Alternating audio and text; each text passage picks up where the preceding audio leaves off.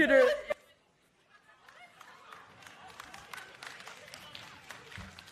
Are you guys making out?